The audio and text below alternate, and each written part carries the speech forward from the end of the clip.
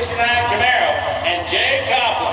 The A-Stock Automatic Brake Pack Challenger out of the JEGS.com State there in Delaware, Ohio. What a great matchup to the Two great drivers, 1036 and 1007. They're on Palma, near stage.